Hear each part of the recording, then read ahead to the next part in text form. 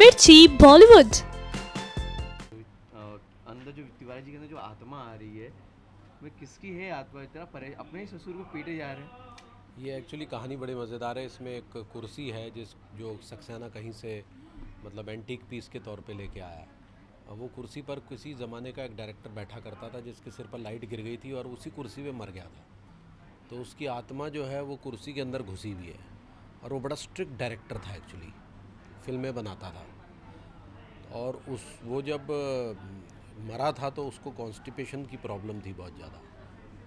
तो वो मतलब भी, बिना हुए ही मर गया था।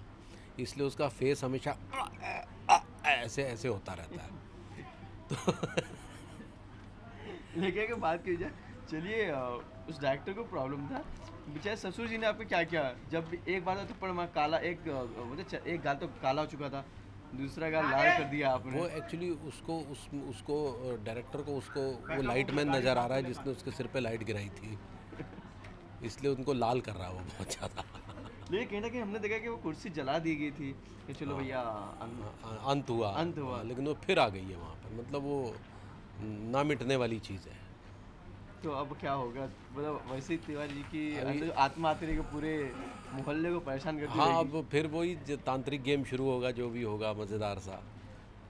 जी ये उसके क्लाइमैक्स होगा। तो बड़ी मज़ेदार सी स्टोरी है इसमें। ये दिखाया है कि मतलब किस तरह से वो एक फ़िल्म बनाना चाहता है तिवारी भाभी जी को लेकर क्योंकि भाभी जी का मॉडलिंग करियर जो है वो ऑलमोस्ट ख़त्म हो गया विभूति के आने पर। वो फ़िल्म बनाने के चक्कर में जो सक्सेना क्योंकि उस कुर्सी पे बैठ जाता है और वो ये टर्न ले लेती है सिचुएशन सारी।